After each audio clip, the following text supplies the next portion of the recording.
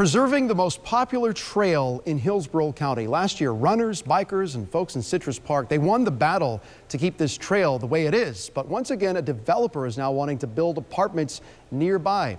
And tonight, ABC Action News reporter Heather Leigh showing us why there may be a new battle now ahead.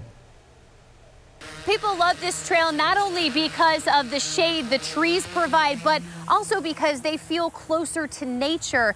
And a lot of them say they're worried putting apartments this close to the trail could ruin that.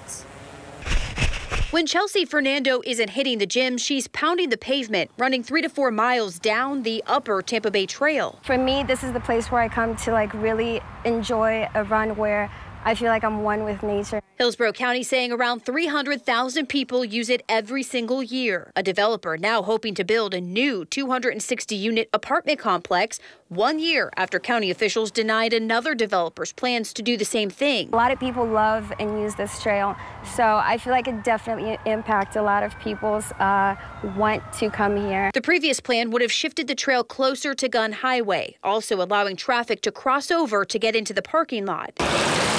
This new plan scratches both of those ideas, installing a bridge allowing bikers, runners, and walkers to go over any traffic. But Fernando and other runners aren't so sure they like that either. As a runner, you want to keep a level ground uh, because when you go on an incline, that can be hard on your legs, uh, depending on how advanced you are. The new developers say they also wouldn't disturb the canopy of trees folks adore, mainly because of the shade they provide. You depend on uh, the trees covering the trail for you to be able to feel that coolness uh, when you're running past. The developers presented their plan to trail users Wednesday and say they plan on working with neighbors to meet in the middle before heading to county commissioners. We reached out to them several times throughout the day, but have yet to hear back. If you'd like to see the renderings for yourself, head to abcactionnews.com. In Citrus Park, Heather Leigh, ABC Action News.